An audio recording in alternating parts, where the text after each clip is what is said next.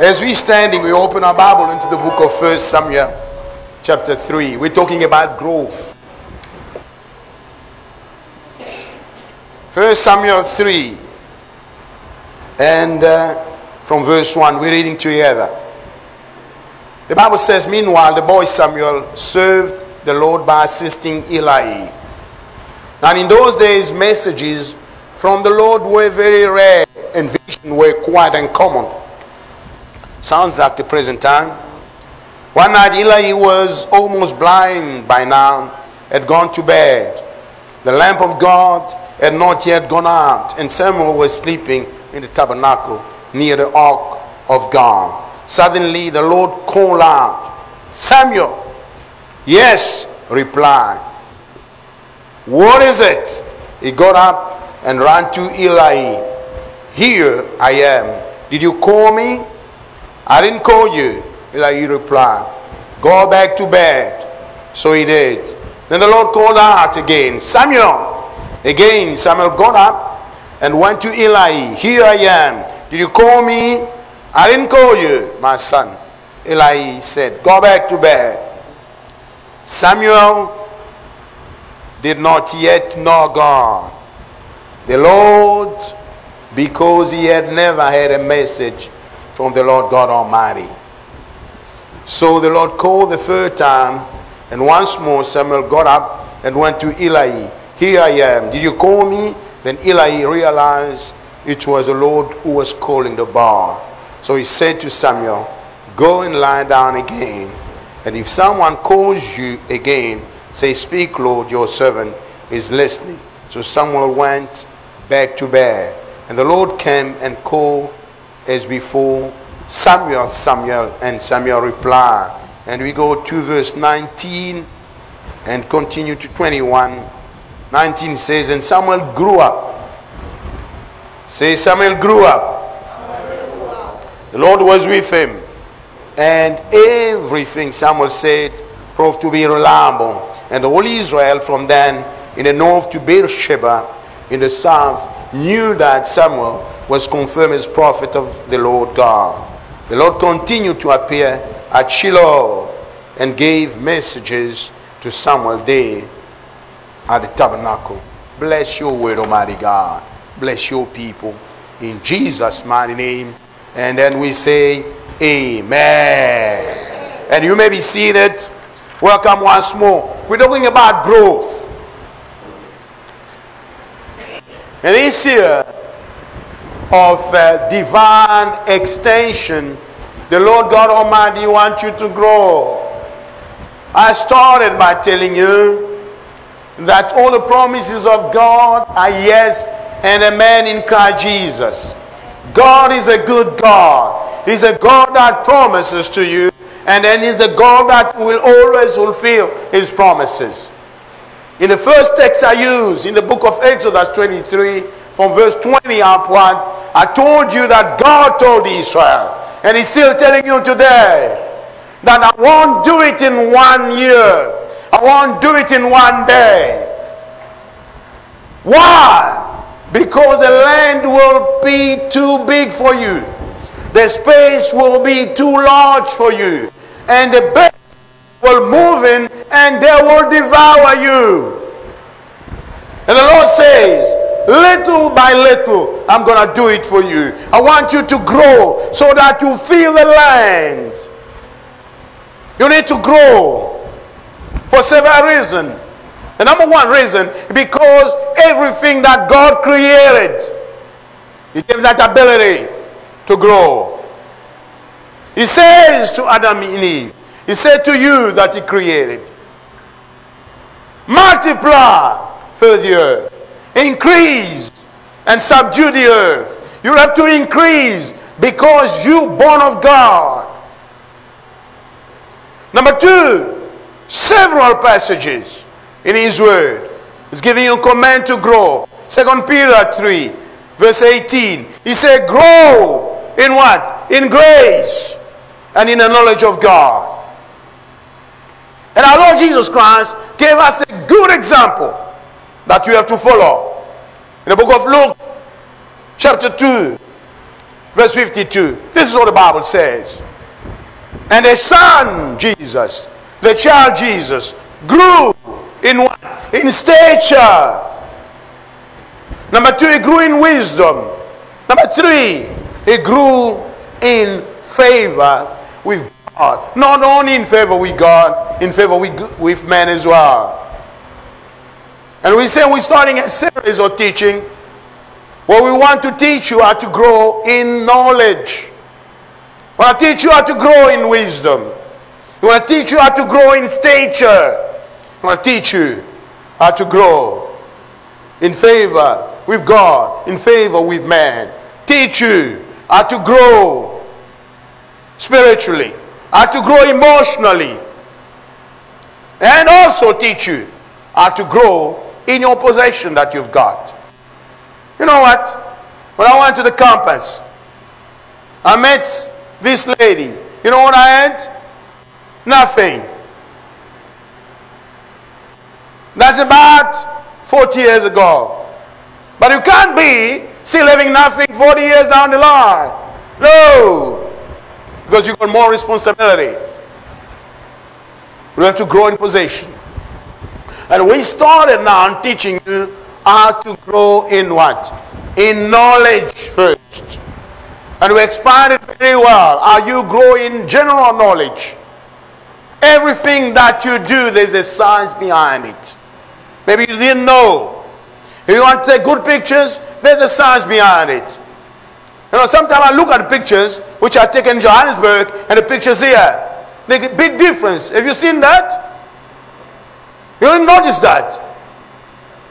Big difference. So you have to grow in the knowledge you have to take pictures. Because the result shows, and some of the pictures you post here, they give it to you from Johannesburg. Everything that you do, there's a size behind it. If you want to be productive, grow in the knowledge. You want to cook, grow in the knowledge of cooking. No wonder why your marriage is stale. You still cook like we are in Lemba. When you're in Cape Town. No. Still cook the same thing that your mother cooked. You can't even grow in the knowledge of putting together the books about cooking. Did you realize that? You never noticed? There's a whole section. I'll take you there if you want. But you pay your own transport. Take it to CNA. And then you're going to get books about cooking. And cook something new for your husband, for your wife. I'm in trouble. wow. I didn't know I was preaching to myself. I'm in trouble. I have to go to CNA and buy and cook. I will testify one day. Amen. And then now, today, we want to focus on the knowledge of God. You know why we want to focus on the knowledge of God? Because that eternal life. John 17, verse 3. I gave them eternal life. Is to know you as the real true God and me, Jesus Christ, that you have sent is your Christ. Not eternal life. So what are we going to do? We're going to expand on the text that we used and we're going to give you three points or oh four how to know God and Jesus Christ. Let's take the text that we've just read. Many of you, I hope you are acquainted with the story of Samuel. This is a miracle baby. We need a miracle. To have a baby, take that book and meditate on it day and night. That book will show you how a woman was despised, you know, mocked, could cry to God and God listened to her praise. You know what is interesting about that passage? Even the men of God didn't get it. Sometimes you think we got all. No. When Eli look at her, he says, No, that woman is drunk. But God no matter what, even me, if I misjudge you, God is the one that sees your heart. Amen. But this is the trick. Even if I misjudge you, But the word of God in my mouth will still have effect on your life. She didn't get very irritated. He just told the man of God, Look, I'm crying because of the bitterness into my heart. And then you know he says, May the Lord of Israel that I serve, that Eli, grant you your request. Take seriously what I'm releasing on your life. It's important. I may be tired. It doesn't matter. Eli was even half blind. If you take it spiritually, you can say that he couldn't get it from the Lord. Because vision and prophecy were very rare on those days. But the Lord God Almighty is still behind the word of his servant to accomplish it. When it comes from our mouth, take it seriously in Jesus' mighty name.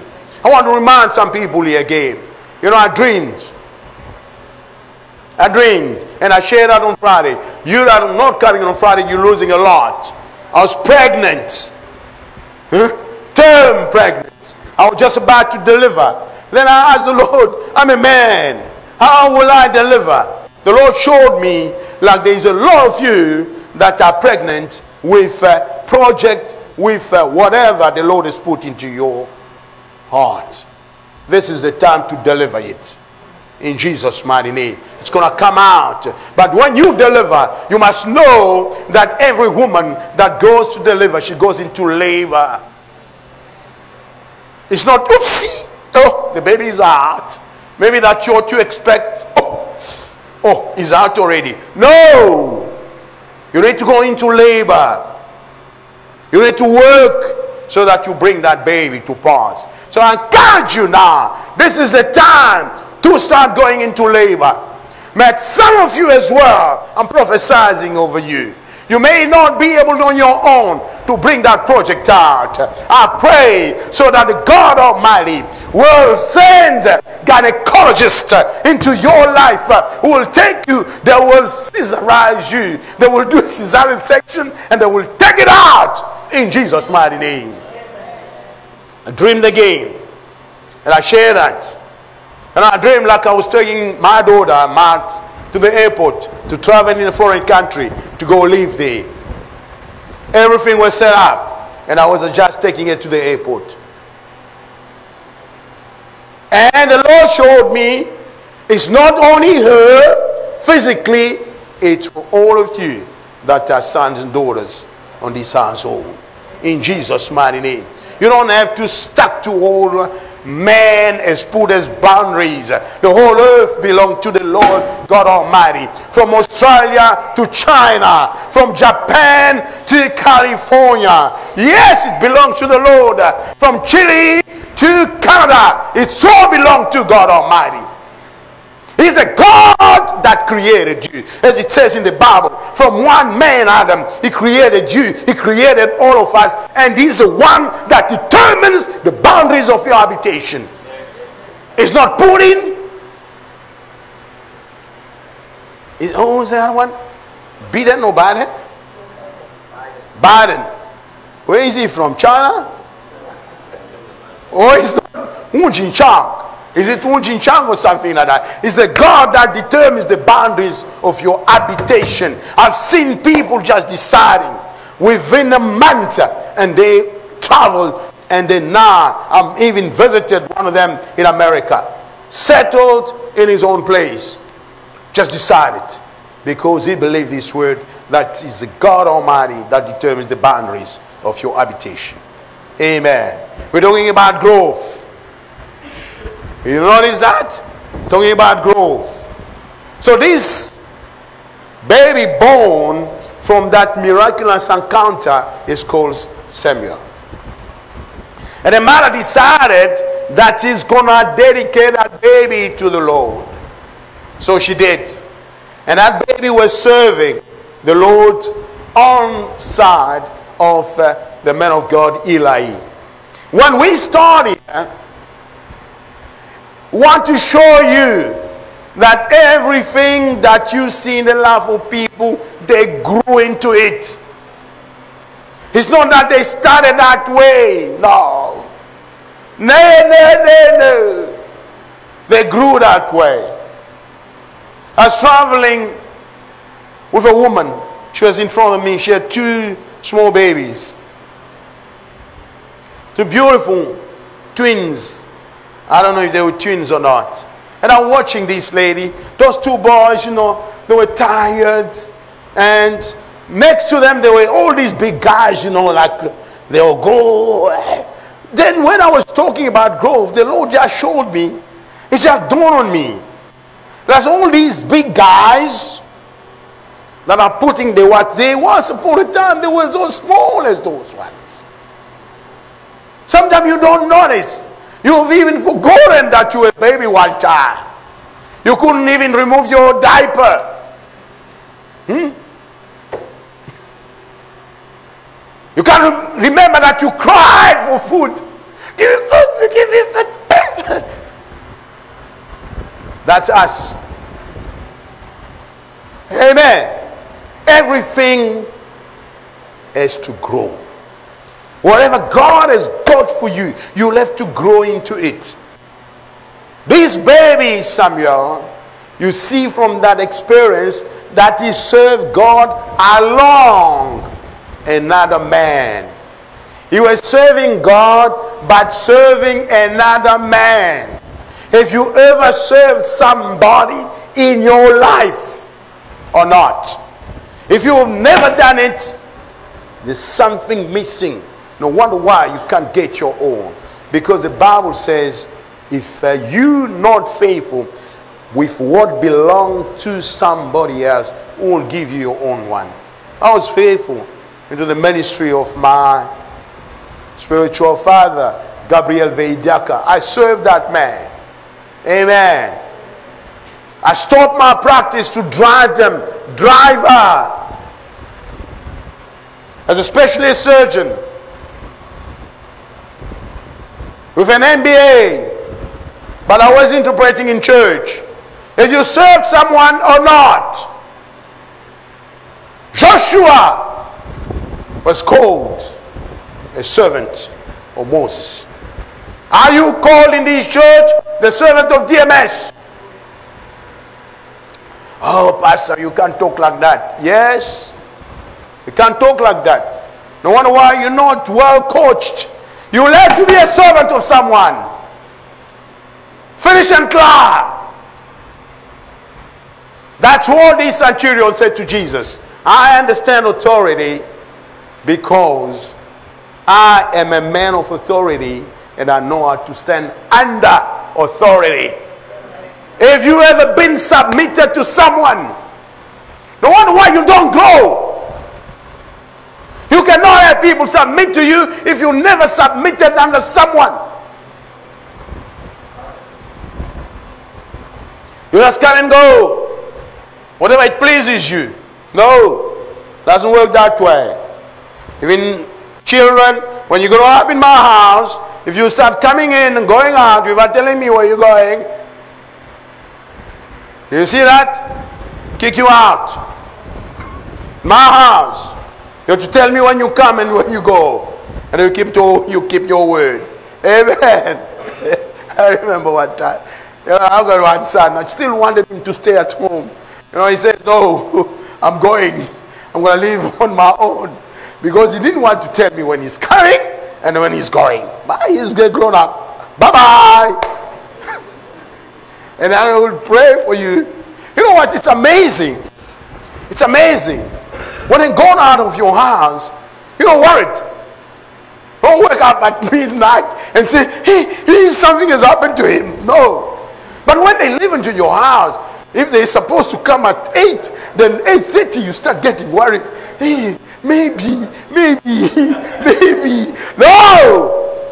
What? 21. Amen. So he served God by serving another person. Number two, the Bible says he was staying in the tabernacle next to the Ark of the Covenant. Understand that and put it in the new covenant. He was saying this, but now the Lord God is in you. But you're still ignorant of him who's in you. You do your own things, you don't even notice him. You understand? No wonder why we don't grow. Because we don't spend time with him. He's in us, but we don't spend time. You know, that reality, you know, I understood it. My late mom, at one stage, she was very old. I wanted to live with her. I said, Mom, come over here. We'll get a nurse to look after you. She'll cook for you. She will even bath you.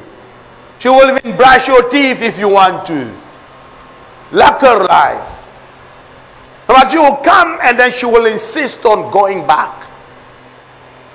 One day I confronted her. I said, Mom, I don't understand. Why do you want to go back? I said, I'm alone.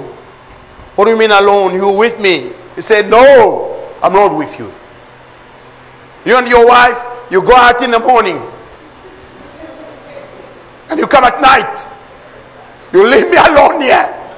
With this lady, we can't talk the language. We're just doing the, the sign. At least when you come visit for a week, I spend more time with you when you come visit for a week than when I sit at your house for four months. You are nearly cried. I look at it, I find that is a reality. You can be with a person without being with a person. The Lord lives in you. Are you really with the Lord? Even if you claim He lives in me, He will never leave me nor forsake me. Are you really with Him? This is my second reality. My son, he jokes a lot. I don't know where he got it from. So one day, uh, he comes. He was at college still. He comes to visit the mom. Then he says to the mom this. Where is the guy that comes and visits you here and then? So the mom was puzzled. He said, which guy? he said, DMS. Where is he? He comes and do and visit you here and then. Can you imagine? You can be your own house with your own wife, and then you come and visit here and then. You'll have to be there. Amen. That's how you grow. When you with the Lord, then you grow. In the name of Jesus Christ. Number three, the Bible clearly says Samuel did not know the Lord. Sometime we would like to say we know the Lord. It's a progressive thing. God reveals himself to you and me progressively. Amen. It's not like I spend 40 days, 40 nights in prayer. The Lord has revealed himself to you. Maka. Sometimes you don't understand Maka. Maka, it means you lying. In one of uh, the Shona language. You have to spend time and time and time and time and time with the Lord and He reveals Himself to you progressively. Not only when you spend time, it's also what you do with the revelation that is given you.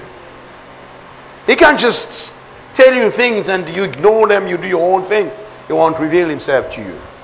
And then this man called Samuel because of dedication.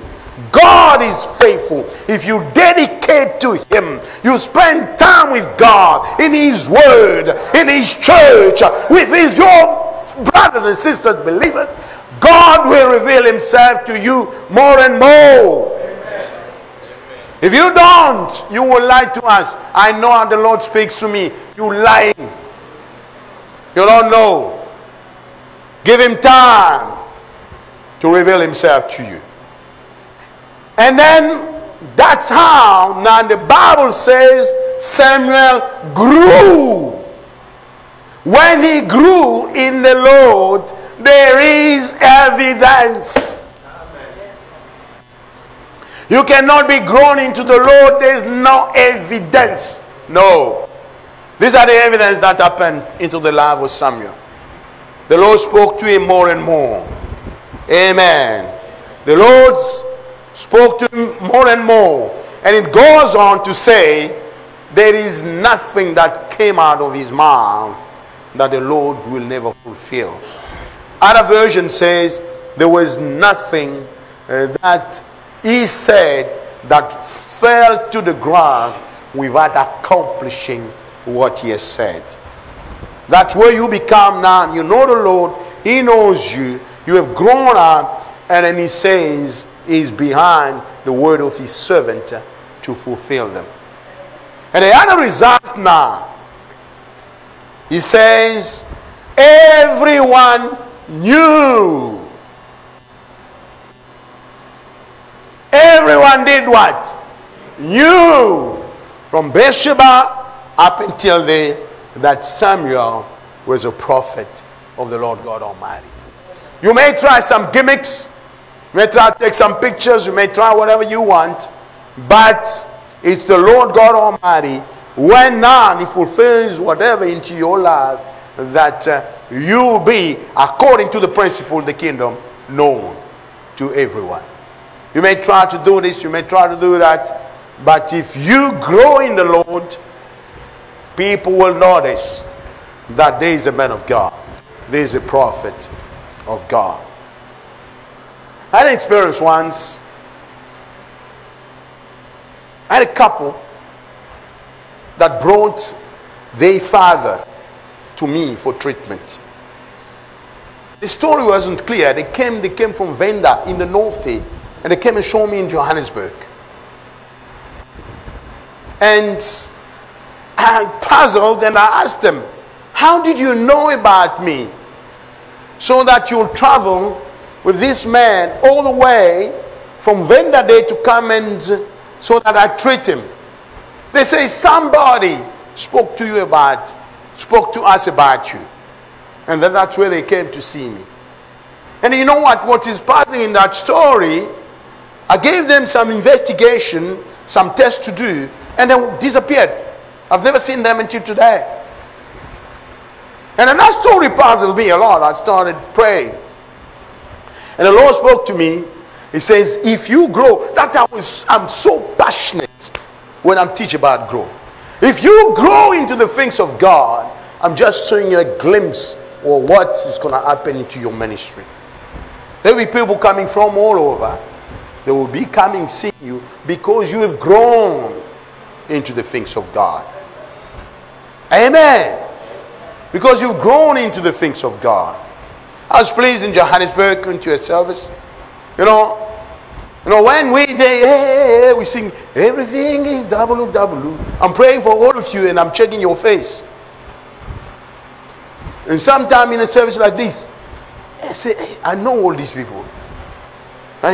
they all regular face, you know. I get a little bit disappointed. Not with you, but of the fact that there is no face that I don't know. For me, my ministry doesn't grow. Are you with me? Michelle, Shireen, John Alf. Oh, okay. Irregular. Okay. You will see me, even my face become a little bit downcasted a little bit to say, ah, no, there's no one that I don't know. You understand? Because I want to grow. And then this man grew into the knowledge of God. Three ways of growing into the knowledge of God. Number one, you will grow through the knowledge of God by just observing nature. Number two, go through the knowledge of God by doing what? Studying the scriptures. Number three, you'll go through the knowledge of God through the circumstances that the devil may take you, you may take yourself, and God may take you through some circumstances, work with you through that, that you know me better. And number four, you'll know him through revelation. Let's touch on the first one today only. And on this point, I won't labor it too much. It got me my first video that went viral. Is knowing God through nature. You know, I've realized that many of our children, they don't know nature at all. They've been born in urban areas. They grew up in cities. You know, everything they see is not really nature. It's something that is uh, being changed by man and all. They, they live in high-rise building. They go to water into tapes. They think water is someone cooked under the, the what? I don't know how they grow up. So it becomes very difficult for them to know God through nature. But take an experience for yourself and try and discover really what uh, nature is. Each time a person sees nature for what it is, he discovers God. I don't know. Through some connection of my workplace, I've been to game reserve. I've gone through this game reserve. I observe animal. They talk to me about some plant and all those kind of things. The way they function, you will rarely see that there is a God that has created all that. I spoke about volcano the last time. You know, going to see it in the DRC where you've got volcano. Do you know how it happens? Look at the tsunami. You will see that there's a God. Sometime when you go on the sea, I don't know if you've gone. I don't know if you do it in Cape Town here, but Durban is a good port. You can go from Durban to Norway about a day or a weekend. And then you sit on that dock of that uh, big ship and you watch the sea. At night especially. It's all quiet and black everywhere. And you realize how small you are compared to the wonders that God has done.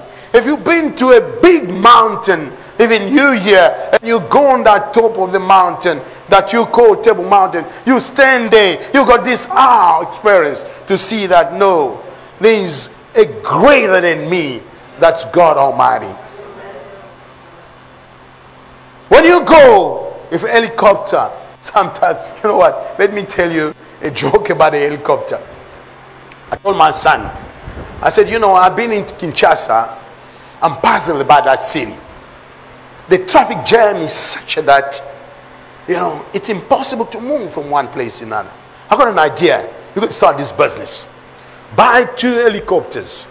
You know, like what you do in Cape Town here? Take people around the city. Huh? Heli choppers. You take them into Kinshasa.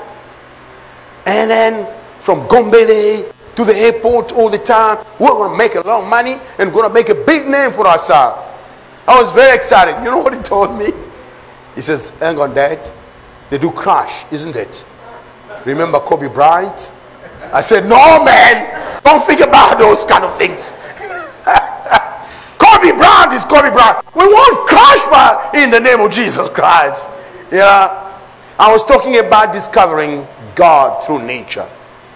If you go on into helicopter flight and go around even in the forest, and see some of those rivers. It looks like someone has drawn them nicely.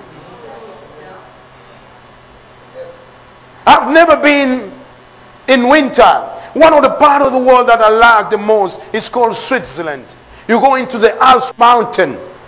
You know, it's so beautiful. And you see those roads that they've made there. You stand there, you say, no, God is great. You discover God through nature. Every single person that see the wonders of life, of nature, will discover God. Let me give you some verses as we close. Let's go into the book of Psalm, Psalm 19. Read it with me.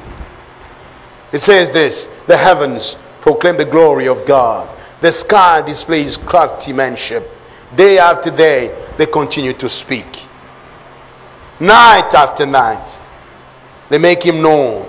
They speak without a sound or a word. Their voice is never heard, yet the message has gone throughout the earth and the word to all the world. God has made a home in the heavens for the sun.